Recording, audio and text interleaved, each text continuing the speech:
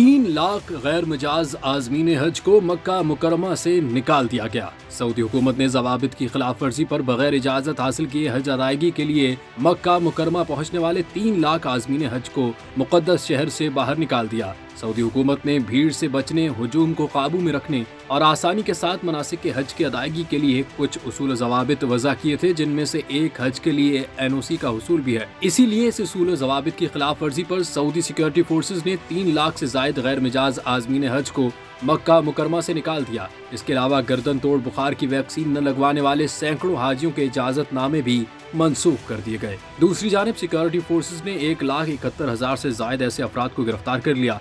जिन्होंने मक्का में हज परमिट के बगैर रिहाइश इख्तियार की हुई थी।